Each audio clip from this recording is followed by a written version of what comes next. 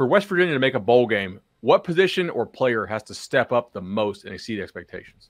It's got to be quarterback. I feel like that's the easy answer for a lot of people. But West Virginia has not gotten consistent quarterback play since Will Grier back in 2018. Now, if the answer is Garrett Greene at quarterback for the Mountaineers this fall, I think you need to see a guy who can make explosive plays. With this added running threat of Greene, who in his limited time last year as a starter to end the season, chunked off some nice sized run plays.